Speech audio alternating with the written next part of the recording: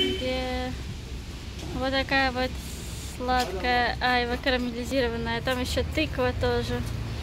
Вот тут вот мы ее кушали. И взяли ее себе домой. На вынос. На вынос взяли айву. Хорошо, что хоть на вынос некоторые штуки работают.